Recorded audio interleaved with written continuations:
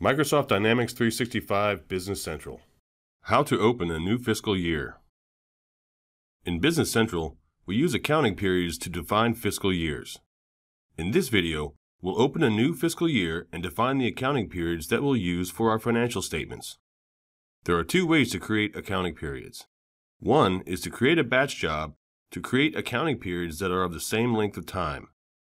We can also manually create the periods and define custom lengths of time for each period. Let's explore the process. To open a new fiscal year, we'll search for Accounting Periods and then choose the Accounting Periods link.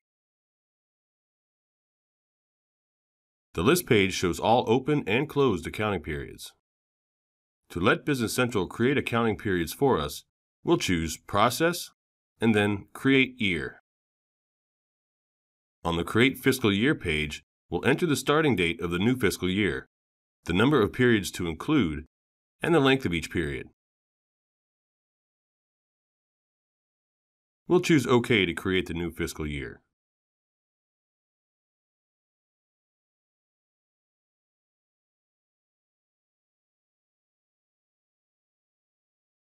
If we want to manually create an accounting period, we'll search for Accounting Periods and then choose the Accounting Periods link.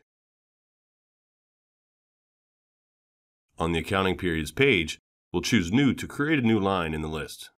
In the Starting Date field, we'll enter the date on which we want to start our new fiscal year.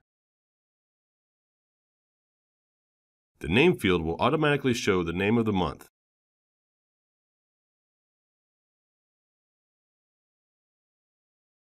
Because this is the first period of the fiscal year, we'll choose the New Fiscal Year checkbox. To create the rest of the periods for the fiscal year, we'll just repeat these steps. Thanks for watching.